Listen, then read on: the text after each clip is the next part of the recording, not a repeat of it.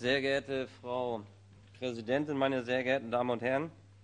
Ich denke mal, dass ich heute einer der wenigen Redner bin, der nicht verspricht, dass er es kurz macht. Und bei diesem Thema sollten wir uns doch schon etwas mehr Zeit nehmen. Also der Auffassung bin ich schon. Ich bin auch sehr erstaunt, was bisher hier geboten wurde. Vieles kann ich nicht nachvollziehen, aber vielleicht wird das dann auch durch den Antragsteller nachher in der Debatte noch etwas klarer gestellt. Fakt ist, äh, Sie fordern hier den Landtag zu zwei konkreten Dingen auf. Zu einer Gesetzesänderung, die dann das Teilzeit- und Befristungsgesetz betrifft. Und ich sage mal immer, wenn ich Gesetzesänderungen vornehmen will, dann muss ich natürlich auch entsprechende Gründe haben dafür, ob es überhaupt eine Notwendigkeit dafür gibt. Und aus meiner Sicht sind Sie der Notwendigkeit hier nicht gerecht geworden in Ihren Ausführungen. Sie stellen pauschal in den Raum, dass es so ist, aber anhand von konkreten Zahlen können Sie das nicht belegen. Ich will Ihnen konkrete Zahlen hier nennen, weil ich auch nicht bereit dazu bin, wie bei den Debatten zuvor immer Dinge aus dem Zusammenhang herauszureißen. Wir haben hier Arbeitsmarktinstrumente, Arbeitsmarktinstrumente durch Hartz IV eingeführt und die haben zu folgenden Ergebnissen geführt. Wir haben eine Rekordbeschäftigung in Deutschland von ca. 29 Millionen sozialversicherungspflichtigen Beschäftigungsverhältnissen. Das sind über zwei Millionen mehr als damals, bevor die Hartz-IV-Reform in Angriff genommen wurde. Ein zweiter wesentlicher Grund. Wir haben zurzeit 2,78 Millionen Arbeitslose. Als die Hartz-Reform auf den Weg gebracht worden sind, haben wir 5 Millionen gehabt. Ein zweiter wesentlicher Grund, der zeigt, wie Entwicklung im Arbeitsmarkt in Deutschland stattfindet. Ich will auch noch einen dritten Grund nennen. Wir haben ca. 480.000 offene Stellen. So stellt sich der Arbeitsmarkt zurzeit in Deutschland dar. Und dann müssen wir immer wieder fragen, warum sollen wir eigentlich einen funktionierenden Arbeitsmarkt, diese entsprechenden Arbeitsmarktinstrumente reformieren? Die Frage muss doch wohl mal gestattet sein. Und was Sie immer wieder hier machen, Sie argumentieren einseitig, das ist meine Auffassung, einseitig nur aus der Sicht des Arbeitnehmers. Der Arbeitsmarkt besteht aber nicht nur aus Arbeitnehmern sondern auch aus Arbeitgebern und aus Betrieben. Und das war jetzt nicht Ihr Ernst, ne? Sie haben die Arbeitgeber hier als Ausbeuter generell dargestellt in der Gesamtheit. Ich denke mal, dass Sie nachher noch vorne ans Rednerpunkt treten werden und das klarstellen werden. Äh, es ist doch wohl unstrittig, dass der Arbeitsmarkt aus diesen beiden Parteien besteht. Und da kann ich doch nicht immer nur einseitig hier mich hinstellen und das herausgreifen und das so argumentieren. Und insofern sage ich es nochmal, wenn die Entwicklung so erfolgreich war aufgrund der Arbeitsmarktinstrumente, dann müssen Sie doch schon mal beweisen, warum oder, oder uns erklären, warum wir die ändern sollen. Und die, die es damals eingeführt haben, wenn die sich heute hinstellen, zum Beispiel von den Grünen, und sagen, wir müssen das ändern, dann muss ich Sie fragen, äh, haben Sie damals diese richtigen Maßnahmen auf den Weg gebracht, die die Ergebnisse gebracht haben, weil Sie nur in der Regierungsverantwortung sind? Wollen Sie heute anders reden, weil wir demnächst Bundestagswahlen haben und weil Sie in der Opposition sind? Jetzt sind die Maßnahmen alle nicht mehr richtig.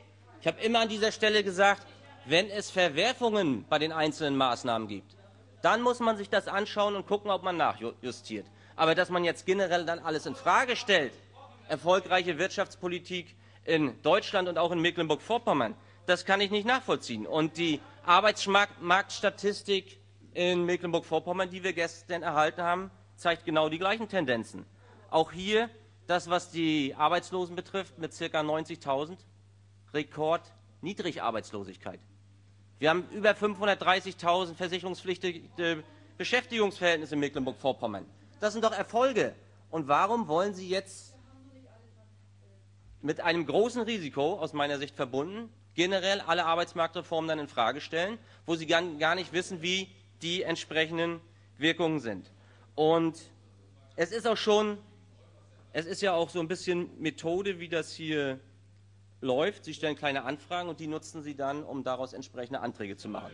Das ist, das ist, das ist ja, das ist ja auch in Ordnung.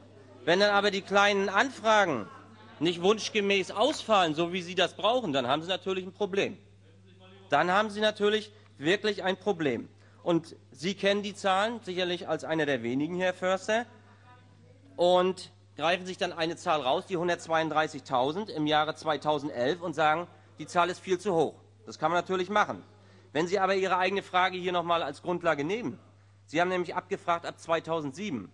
Sie haben sicherlich aus guten Gründen 2006 und vorher weggelassen, das kann ich mir schon vorstellen. Sie haben aber 2007 bis 2011 erfragt.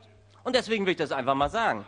2007 rund 165.000 befristete Arbeitsverträge. 2008 156.000. 2009 148.000. 2010 144.000.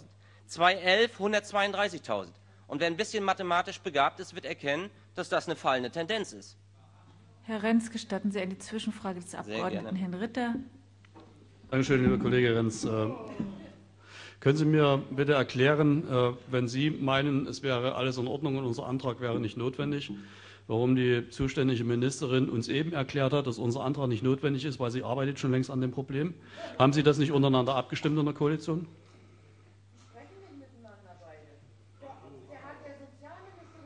Wenn das eine Frage an die Ministerin war, dann, nee, Sie gefragt. dann müssen Sie die stellen, wenn sie am Rednerpult steht. Sie werden anhand meiner Ausführungen erkennen, allein schon an dem letzten Punkt, dass ich hier nachweislich anhand der kleinen Anfrage dargestellt habe, dass wir fallende Zahlen haben im Bereich der befristeten Arbeitsverträge, dass das eine unterschiedliche Darstellung der Dinge ist. Daran kann ich jetzt aber nicht irgendwie eine kleinere Katastrophe erkennen. Das ist einfach so. Ich stelle die Realität aus meiner Sicht hier dar. Dankeschön.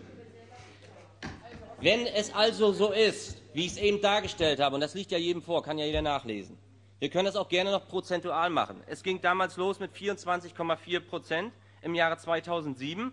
Im Jahre 2010 waren wir schon bei 20,5.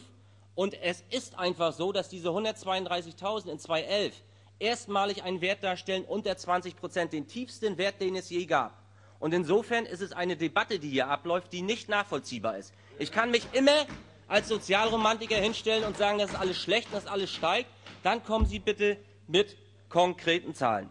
Und was es natürlich immer bewirkt, Ihre regelmäßigen Anträge, ist, dass ich mich noch intensiver damit befassen muss und dann logischerweise auch Kontakt aufgenommen habe mit dem Statistischen Landesamt. Und wer sich das anschaut, auch hier geht es los im Jahre 2008, wurde es entsprechend kommentiert vom Statistischen Landesamt, Überschrift etwa ein Viertel der Beschäftigten mit befristetem Arbeitsvertrag. Im Jahre 2009 fast jeder Vierte mit befristetem Arbeitsvertrag. Im Jahre 2011 dann jeder fünfte Beschäftigte hat einen befristeten Arbeitsvertrag. Nun heißt nicht automatisch das Ansteigen der Zahl von vier auf fünf, dass sich das hier äh, so entsprechend äh, verhält mit einem Anstieg in diesem Bereich. Nein, es bezieht sich ja auf Prozente, nämlich dass wir entweder von einem Viertel oder einem Fünftel sprechen. Und dann ist das auch nochmal der statistische Beweis, dass es hier eben bergab geht und nicht bergauf, wie es immer versucht wird darzustellen. Jetzt nehmen wir uns mal die Zeit und wollen dann noch konkreter hier einsteigen. Sie sagen ja, 132.000 ist eine Katastrophe. Jeder weniger ist für mich auch besser.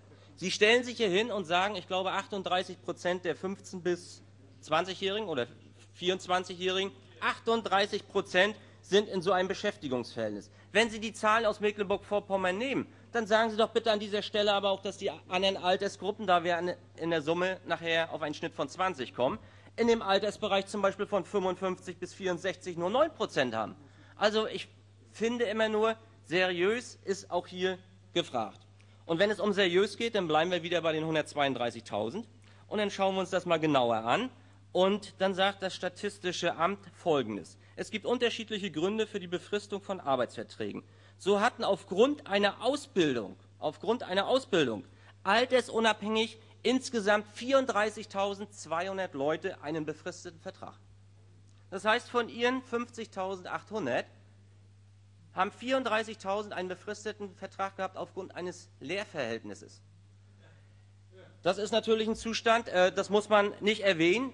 Ich für meinen Teil will das hier einfach mal an dieser Stelle machen. Und auch das wird in der statistischen Erfassung des Landesamtes hier aufgezählt, dass nämlich dann wir nur, nur auf 98.000 äh, befristete Arbeitsverhältnisse kommen. So viel mal zur Statistik, wo ich glaube, es lohnt sich darüber dann genauer auch zu debattieren.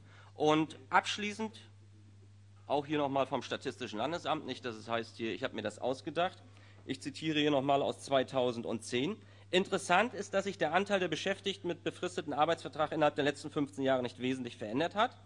Auch betrafen befristete Beschäftigungsverhältnisse Männer und Frauen vergleichbar häufig. Das kann jeder nachlesen.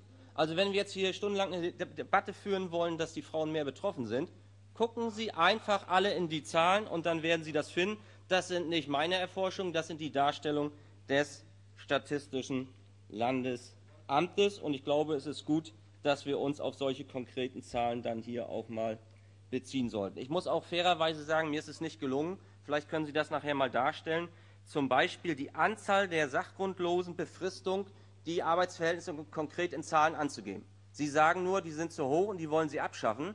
Also ich konnte beim Statistischen Amt da keine Zahl in Erfahrung bringen, äh, wie hoch die ist. Die einzige Zahl für die Befristung zur Erprobung aus dem Jahre 2010, das sind 12.200. Das ist die einzige Zahl, die ich kenne. Und ich sage Ihnen, das, was Sie hier machen, ist unredlich, das ist pauschal und das ist nicht fundiert. Genauso zum Punkt 2, wenn es um die Weiterbildungsangebote geht. Sagen Sie mir konkret, welche Leute, die in befristeten Arbeitsverhältnissen sich befinden, von dem Weiterbildungsangebot von den Firmen ausgesperrt werden. Benennen Sie das konkret. Ich habe mich versucht, hier auch ein bisschen auf den Weg zu machen und kann da immer nur sagen, es wird jetzt schwierig, erstmal die entsprechende Unterlage zu finden. Hier habe ich sie. Nein, aber so viel Zeit muss sein, das wissen Sie ja, Frau Gajak. Äh, wenn es um Statistiken geht, hier SOEP-Statistik, da geht es um die Anzahl der Personen in Weiterbildung insgesamt, unbefristet 32 Prozent, befristet 30 Prozent. Kann ich also keinen wesentlichen Unterschied erkennen. Wenn es um den Mikrozensus geht, der hier zur Auswertung herangezogen wird, unbefristet 5 Prozent, befristet 11, die sich in Weiterbildung befinden.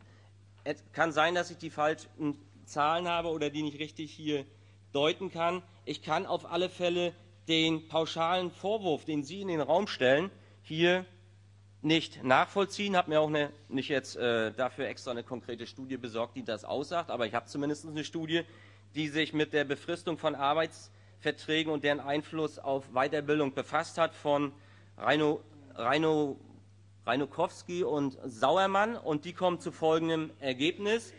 Die Ergebnisse der empirischen Analyse bestätigen dies. Aus ihnen lässt sich ableiten, dass gering qualifizierte Beschäftigte mit befristeten Arbeitsverträgen keinen systematischen Nachteil in Bezug auf die Wahrnehmung beruflicher Weiterbildungsangebote gegenüber unbefristeten Beschäftigten haben und somit auch kein zusätzliches Risiko entsteht. Also ich bitte Sie in der Debatte vielleicht äh, mich davon einem Gegenteil zu überzeugen, aber anhand von Zahlen und nicht einfach anhand von pauschalen Aussagen. Das bringt uns nämlich dann in der Sache nicht weiter. Sofern erstmal der erste Teil meines Redebeitrages, den ich vielleicht mit einem Gedanken hier nochmal äh, beschließen möchte, auch in der Hoffnung, dass vielleicht dann der Antragsteller darauf eingeht. Und zwar mit dem Gedanken, unser Nachbarland Niederlande hat sogenannte atypische Arbeitsverhältnisse, die sich im Bereich von 50 Prozent bewegen.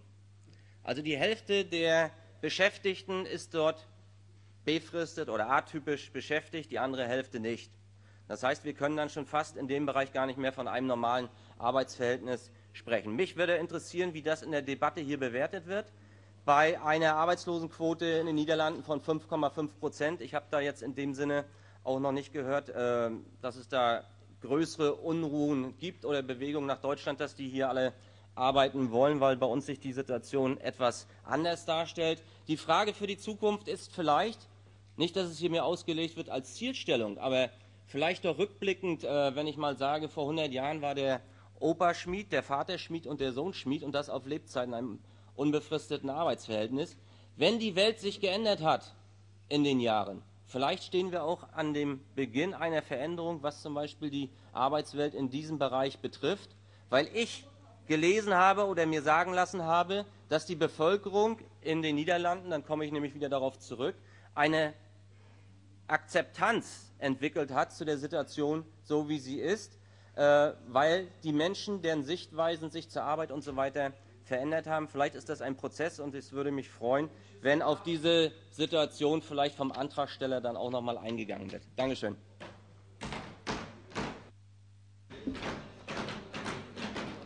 Das Wort hat nun die Abgeordnete